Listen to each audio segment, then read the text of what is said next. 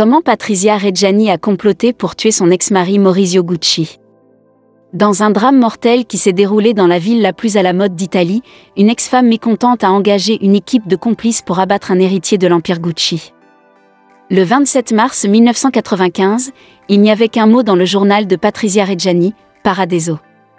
Bonjour et bienvenue sur la chaîne. Si c'est votre première fois, je vous suggère de cliquer sur abonner et d'activer la cloche de notification pour ne rien rater de nos prochaines vidéos. Commence. Mais cette seule entrée qui signifie paradis en grec avait tellement de poids. Après tout, c'était la date à laquelle son ex-mari Maurizio Gucci, petit-fils de Guccio Gucci, le fondateur de l'empire de la mode Gucci, a été tué de sang-froid. En 1998, Reggiani a été reconnu coupable et condamné à 29 ans de prison pour avoir ordonné son assassinat. Bien qu'elle ait nié la responsabilité du crime tout au long du procès, elle a admis qu'elle était derrière elle peu de temps après sa libération en 2014. C'était le genre de scandale qui se déroulait comme un feuilleton mélodramatique, avec de riches héritiers, des affaires secrètes et une fashionista avec un flair pour les mots et un penchant pour porter un perroquet sur son épaule. Ils étaient le couple ultime de la jet set. Reggiani est née en dehors de Milan d'une mère serveuse et d'un père homme d'affaires dans le camionnage, ayant grandi assez riche et courant dans les cercles d'élite, où elle a rencontré pour la première fois Maurizio. Je ne pensais pas beaucoup à lui au début, a-t-elle déclaré au Gardien en 2016. C'était juste le garçon calme dont les dents se sont croisées à l'avant.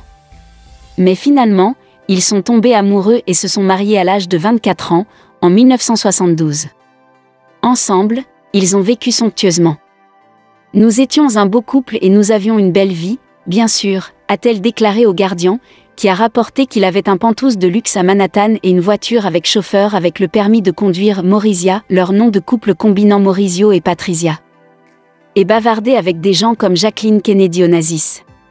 Bientôt, ils eurent deux filles, Alessandra et Algra, ainsi qu'un chalet de ski à Saint-Moritz, une maison de vacances à Acapulco et une ferme du Connecticut.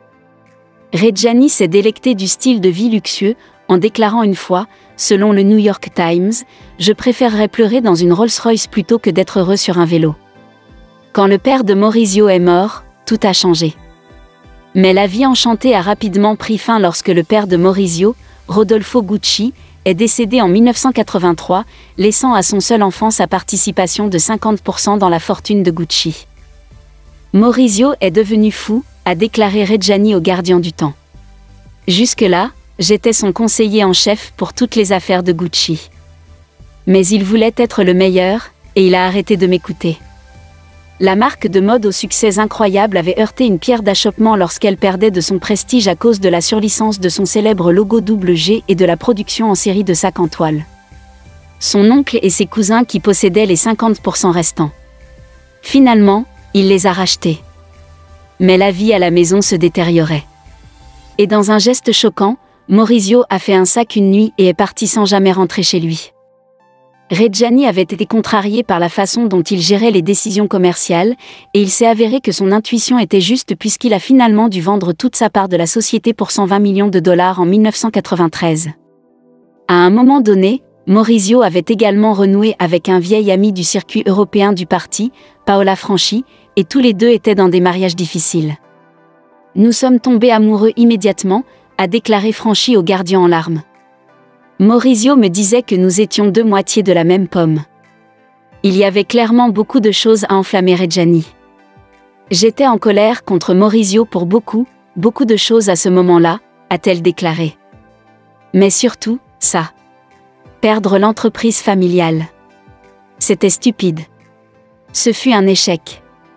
J'étais rempli de rage, mais je ne pouvais rien faire. Il n'aurait pas dû me faire ça. Maurizio a été abattu à plusieurs reprises.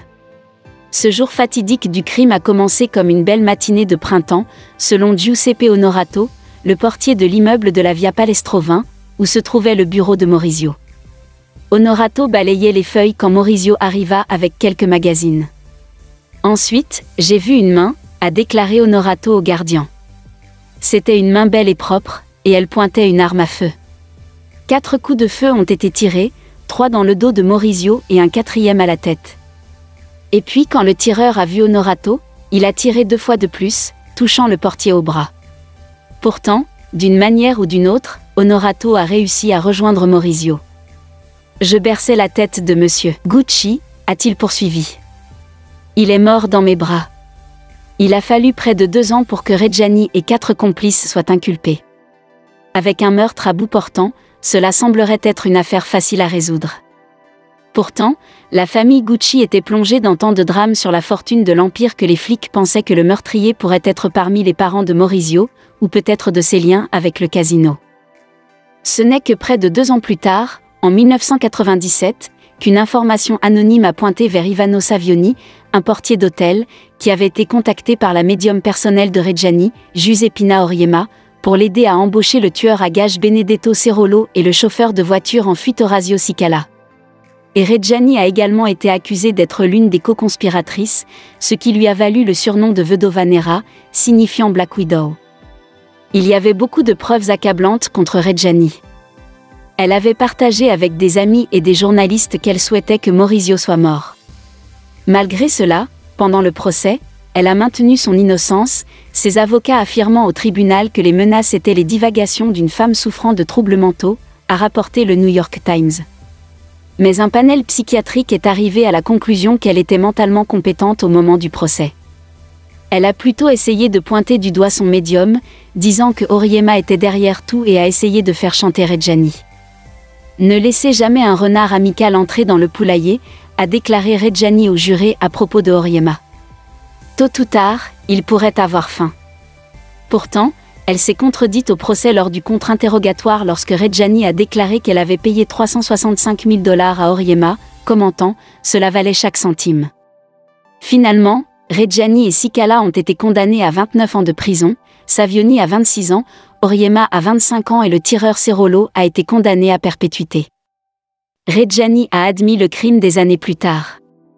Après avoir passé 16 ans en prison qu'elle appelle, mon séjour à la résidence Vitor où elle a pu garder un furet de compagnie nommé Bambi, une équipe de tournage s'est présentée sans avertissement à la société de bijoux Beaux-Arts, où travaillait Reggiani. Le journaliste a demandé, Patricia, pourquoi avez-vous engagé un tueur à gages pour tuer Maurizio Gucci? Pourquoi ne l'avez-vous pas abattu vous-même? Comme si elle ne pouvait pas s'en empêcher, elle a répondu Ma vue n'est pas si bonne, je ne voulais pas manquer, a rapporté The Guardian. Il est clair que Reggiani vit dans sa propre bulle, souvent vue errer autour de Milan avec un perroquet sur son épaule et disant à la Repubblica en 2014 qu'elle espérait retourner travailler avec Gucci, en disant Ils ont besoin de moi. Un Gucci en fait, le plus Gucci de tous. Reggiani avait mis en garde Maurizio contre l'enfer. Compte tenu de son existence excentrique maintenant, les détails de la façon dont elle a comploté la mort de son ex-mari sont à la fois difficiles, mais étrangement faciles, à croire. Au cours du procès, il est apparu que Reggiani aurait fait pression sur les quatre complices pour accélérer les plans de meurtre afin de s'assurer qu'ils soient pris en charge avant que Maurizio puisse épouser Franchi. Cela était apparemment dû en partie à la crainte que ses filles ne perdent une partie de leur héritage si elles avaient des enfants, mais Oriema a déclaré lors du procès que Reggiani ne pouvait pas supporter l'idée d'être remplacée. Patricia nous traquait, a déclaré Franchi au gardien. Elle avait toujours des espions dans l'entourage de Maurizio, et elle savait tout sur nos plans, ses relations d'affaires, tout. Elle a appelé plusieurs fois, l'agressant et menaçant de le tuer.